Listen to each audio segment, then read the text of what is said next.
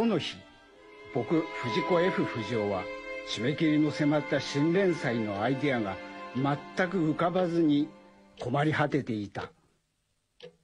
ダメだ今日中にアイデアまとめないともう間に合わない。うーん。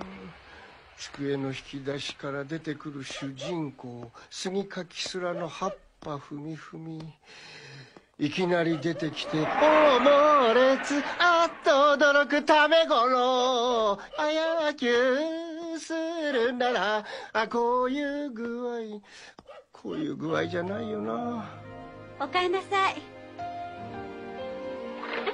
ああ時間が足りない。タイムマシンでもあれば未来へ行って自分の漫画のアイデアを盗んでこられるのにな。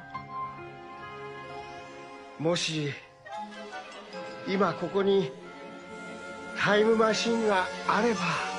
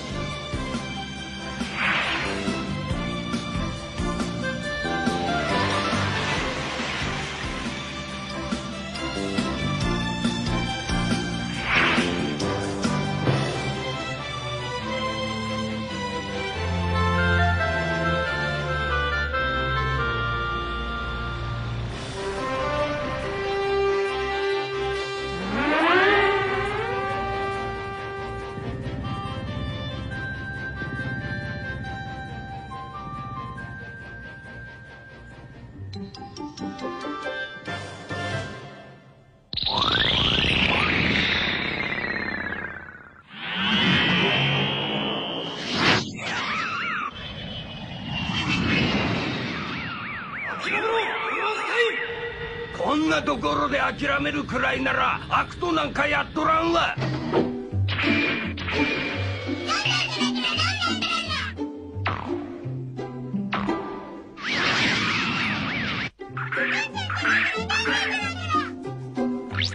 什么。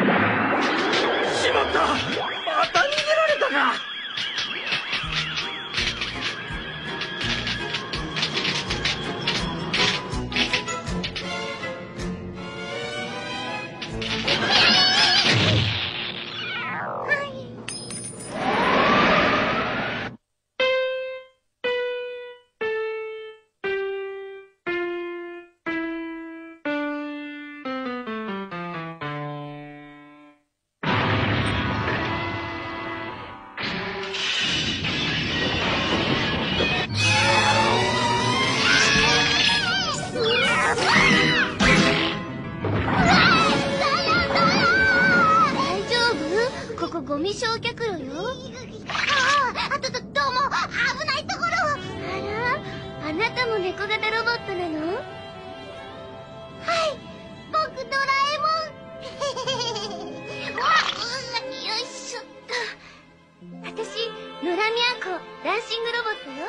ぼ僕はえーとまだ生まれたてのほやほやなんで。ふん。ずいぶん高いところから産み落とされたのね。じ猫型ロボットとして社会の役に立てるよう頑張りましょう。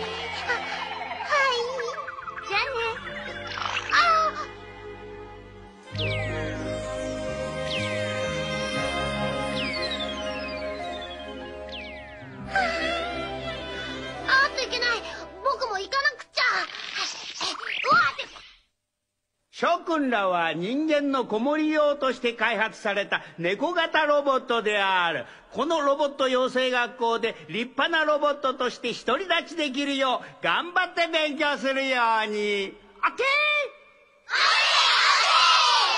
頑張るぞあ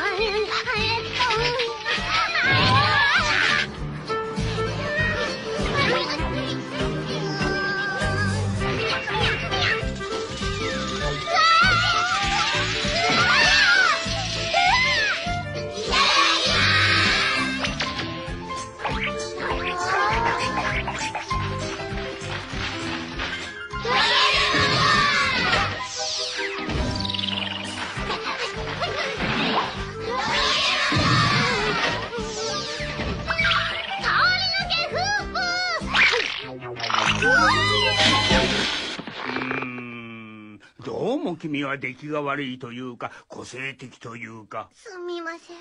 同じ工場で同じように作られたのにどうして君だけ変わっとるのかな。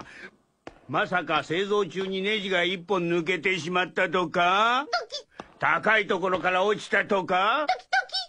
あまり成績の悪いロボットは溶解炉でドロドロに溶かされることになっとるんだがな。ドロなんちゃってうっしょドロありゃりゃうんびっくりさせないでくださいよ君はもっと個性を生かせるクラスに転入だ。えクラス替えですか？そう。じゃあ早速行ってらっしゃい。うわうわうわうわドロドロあすまん間違えた冗談やめてくださいうわあこっちこっち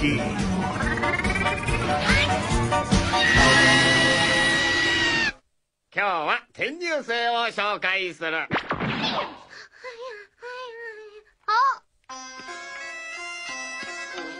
がでけ。なんで猫がでけ。とろそうなやつ。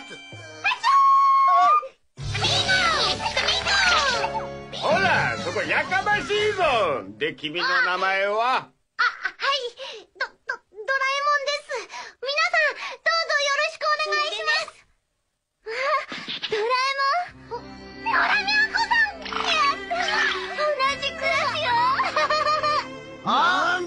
つ野良都となれなれしくしやがって。新入りのくせにずうずしいぞ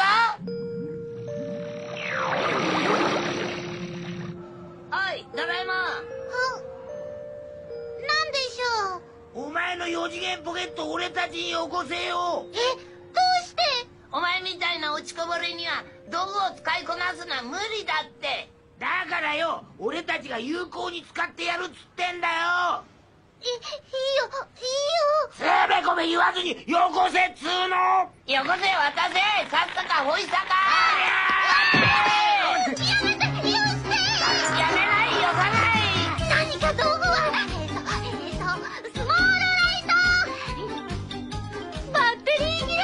だからお前には使いこなせないって言ってんだろうが。猫に小判ドラに真珠。えっと、